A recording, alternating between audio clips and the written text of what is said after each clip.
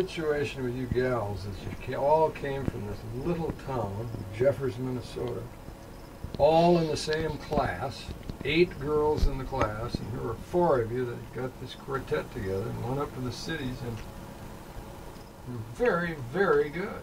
We have a octet going, and the four girls graduated from high school, so it left we four. And we thought, what can we do, you know, with singing again? And somehow barbershop harmony mm-hmm. struck our. And then I think we were asked to sing at a PTA meeting, is that correct? And then we fooled around with lots of music and we found the barbershop song. We found out about the barbershoppers putting on a show in New Ulm, Minneapolis Barbershop Chorus. And somehow we found out about that, and we made up our minds we were going to go down there. And so we went to the show, and people asked us to sing at the afterglow. And that's Yeah. when we met Kathy and Claire Kathy. Leno. Right. She came up to us and she said, You girls have to get out of those pants Mhm. and sing like a girls' quartet. And from then on, we were hooked. Called them Ma and Pa. When we went up to the cities, we were they were like our parents, really. Mm-hmm. Stayed with them, and she cooked for us and Last sewed for us. Leno. They had a restaurant now. Rest- Kathy's Kitchen. And they never had any kids. They were both involved in barbershop. Very much She so. and Sweet Adelines and he Yeah. in Yeah. Minneapolis Barbershop. And didn't she even write to our parents to say that she we were graduating from high school and then we went up there and saying how they'd watch over us and take care of us. They took us to a lot of the jobs. Lots did. of driving Yeah. around. I've got somebody to love me night and day, sweetest girl I've ever seen. I'd walk a million. For some reason or other, when we were singing in Jeffers, we gave ourselves the name of Four Teens. Uh, we were four teens. And when we got to singing in Minneapolis, we were approached by someone that we couldn't use that name because uh, Men's Quartet had that name. In fact, they went on to be international champions. Uh, as I remember, we got a letter from Steinmetz, didn't we? Yes. We had Yeah. to change. So we had to change. Have this memory that it was one of the Four Teens. It's like, no, you can't use our name here. How about this? And I just assumed it was, you know, sort of tongue in cheek, like, yeah. I think it was a good name. Well, apparently it was uh, memorable anyway. Have Please don't be angry, 'cause I was only teasing you. I wouldn't even let you think of leaving. Don't you know I love you true?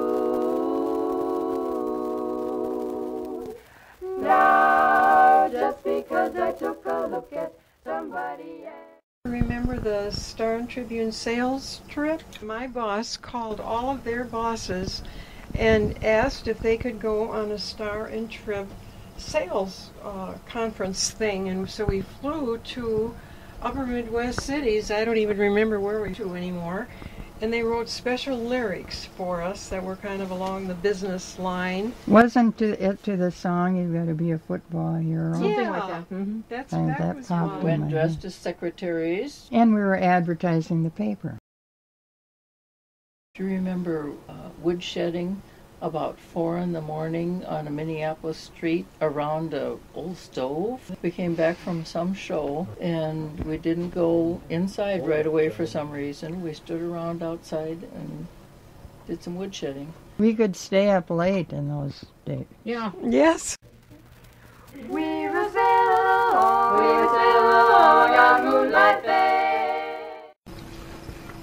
Back in those days, it was almost a must that all your costumes match. I remember going to the shows that they measured that the bottom skirt was the same 17 or 14 inches from the floor, and heaven help you if one was higher than the other. I can remember difficulty of finding four pair of shoes that looked alike in the same size, and they had to be low heel for me and higher heel for the rest of you. And then Eunice left hers one time when we were in Wisconsin, so we had to hurry up and buy. We had to hurry up and try to find four pair of shoes that matched that But then we had those black taffeta eyelash things. It had red eyelashes. I like those. I that like dress. those. Yeah, I'll Yeah. bet those were our favorite outfits. Oh yeah. I think so. We blackened Yeah, we did. Yeah. our faces The and internal we stuffed our bodies. Wouldn't do that horror anymore. uh, is that we actually worked with, with burnt cork. God, that was so embarrassing. We sang at a at a basketball game or something one time in, in blackface. That was awful. At this point, it would just be inappropriate, but at the time, it really was not. We Well, didn't know any I, better. I, We were the first girls quartet ever to be invited to sing at the men's barbershop quartet at Northrop Auditorium, and We were aware that we had caused a lot of concern between the men barber shoppers themselves because Judge Sletton and Claire Leno had pushed for this, and Doc Brown yeah. had pushed for this and pushed it through. And there was a lot of dissension about allowing a girls' quartet in the men's barbershop show.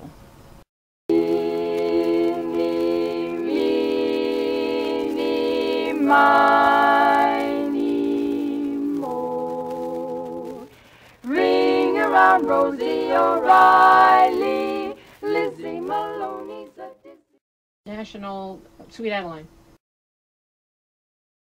We took the train to Milwaukee. like a kid who stays away from school.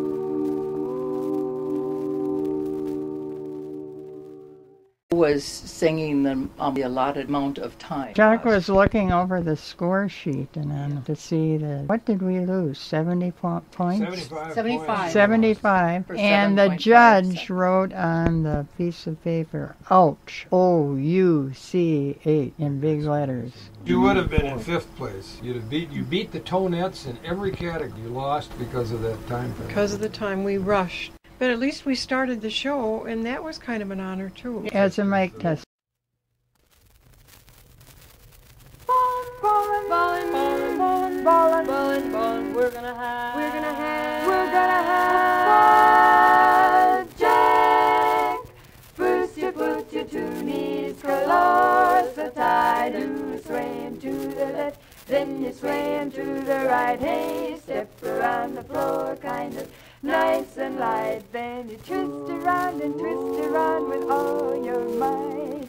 Spread your loving arms way out in space. Then you do the eagle rock with style and grace. Swing your foot way round, then bring it back. Now that's what I call falling the jack when you put your two knees close up tight. Then you sway 'em to the left, then you sway 'em to the right. Swing your foot way round, then bring it back. Jack. That's what I call capital B A double L I N ball in the jack. I think I can honestly say we did it because we loved it.